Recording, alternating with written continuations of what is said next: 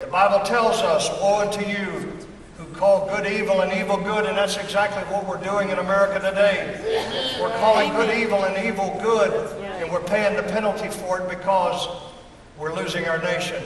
Our values are changing so rapidly. We're on the precipice of total destruction if we don't turn this around. And I mean that. I'll say it again. We're on the precipice of total destruction if we don't turn our value system around.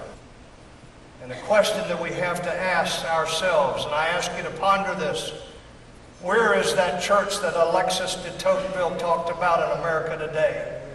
Where is that church that should be the dominant influence in our society? Amen. That should influence everything that we do, the way we think, the way we act. Where is that church today? And the answer is Right here. this church may Right be here. the Right here. but across the nation, Right. the church has Right been here. silent. The church is not the dominant influence in America today. It doesn't shape our values because the church has been silent, where we're now calling good evil and evil good, even inside the churches Yes. across America today. Yes, it. And it's killing us as a nation.